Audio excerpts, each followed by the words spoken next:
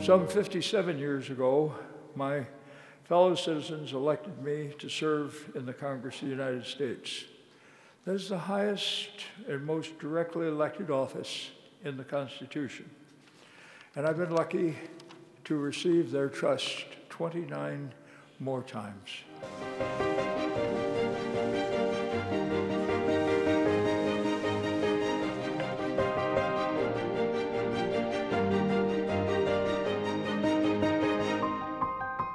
John Dingell has a tremendous legacy in the United States Congress. He was a member for 59 years.